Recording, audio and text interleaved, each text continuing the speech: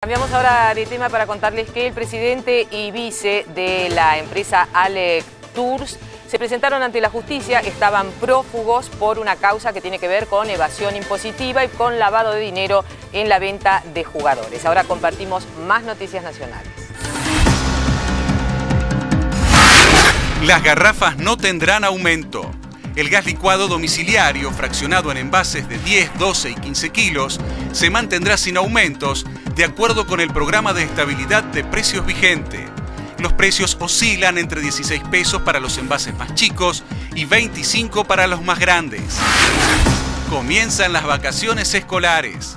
Unas 12 provincias inician este lunes el receso de invierno que se prolongará hasta el 22 de julio. Ellas son Chubut, Córdoba, Corrientes, La Rioja y Mendoza. También harán lo propio Neuquén, Río Negro, San Juan, San Luis, Santa Cruz, Santa Fe y Tucumán. Continúa la crecida del río Paraná. El curso se incrementó en las últimas horas frente a la costa entrerriana, pero sin provocar hasta el momento evacuaciones de pobladores ribereños. Voceros de la prefectura estimaron que el pico de la creciente llegará durante el fin de semana.